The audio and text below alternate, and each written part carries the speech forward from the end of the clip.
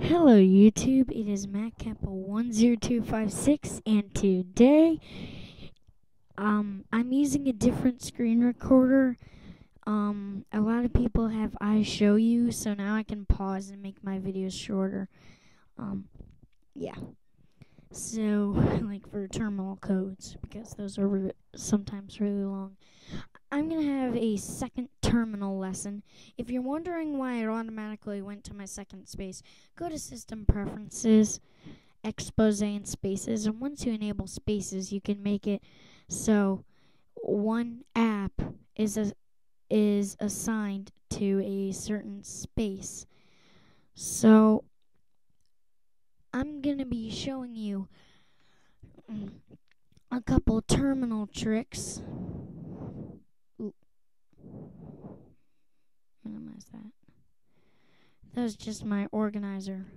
Um, I have this terminal files directory, which is another word for folder, and I have this console file. Now it's locked, so you cannot edit it. And here's how I do that. Okay, I'm going to pause. Okay, so I typed out the code it is CD desktop. So that makes that puts you on your desktop as you can see right there. And then you have PSAU space PS space AUX space greater than space console. Um if um console right here you can name it whatever you want. I chose console, but uh yeah. Um if it has multiple words then put quotes around it. So then we're going to hit enter and you can type in cd dot dot there we are. Now we can just go into console and then it shows you whenever you get an error it overwrites this document telling you whenever you get it. Now, how did I lock it? So you're going to right click or control click it, click get info. I'm going to minimize terminal for now. And you can you can click locked right here, but first I'm going to give it a green label as you can see right here now. And now I'm going to lock it and I'm going to make it so I can only read. But first off, we need to unlock it so we could do that. So we need to make it so we can only read it.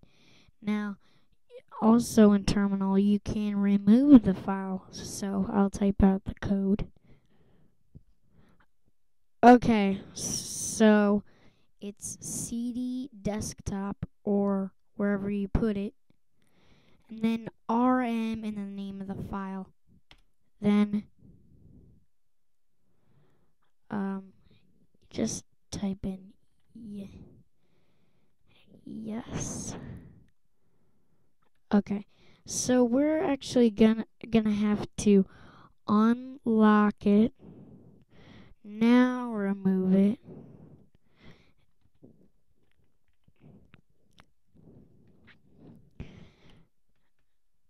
Um, yeah.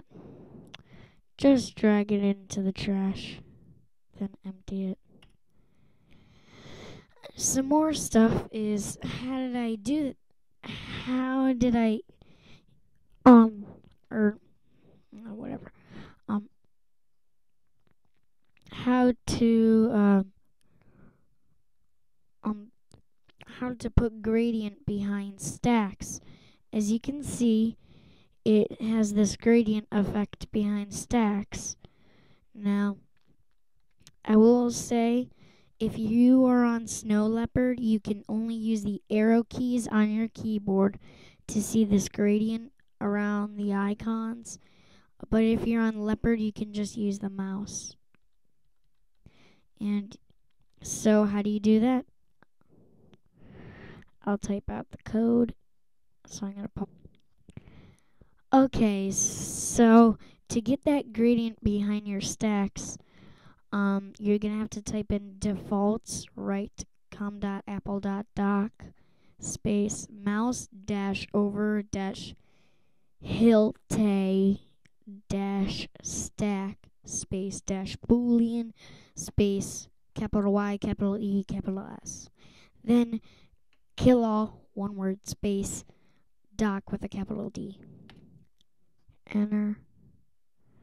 Now some stuff might have come up. Okay.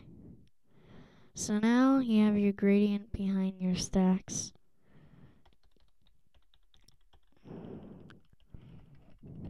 It's pretty good. I like it. I really like it. Um, some more stuff is how to uh, get to your uh, Macintosh HD. Well, first off, I'm going to type in clear. So it scrolls down enough so I just have that's the only line there. So I'm going to pause. Pause. Okay, so I typed out the code. To exit the desktop, I typed in cd space dot dot. Um, that always that doesn't always work, especially if you're like in the Macintosh HD folder. Next, I hit enter. That put me on my home folder. Then cd space slash volumes. And then I hit enter and then ls, which shows me which is in that folder and then I did CD quotes Macintosh HD end quotes. Now um, y- or you could just type in CD space backslash. Now when I hit enter, as you can see right here, let me highlight it. Right there, Macintosh HD. Now if you type in ls, you get all the stuff that's in my Macintosh HD. And now, um, you can even uh, type in ls dash l space dash l. Now, all these codes will be in this description. ls dash l, and then you get all this. You get the total and uh, some coding or what your permissions are. Um, a number, who owns it, if they're an admin um, more stuff when it was last edited and where it is. So you got all that. And if you type in df space dash k, you get the the file system, the 1024 dash blocks. I don't know what those are. How used, available, capacity, and mounted on. So this is mounted on my home folder. And now I'll type in clear.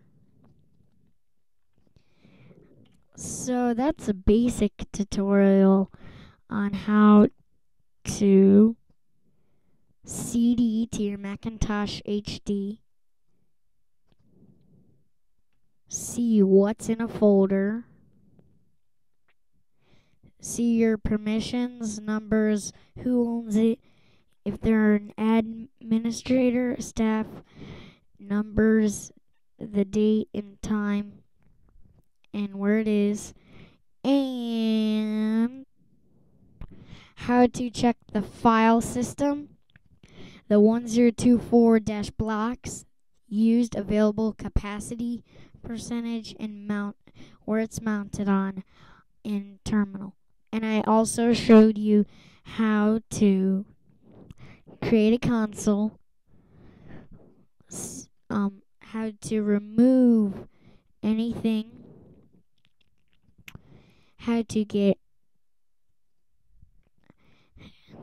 this gra- behind stacks and how to clear and make it scroll down to a place where you can only see that line.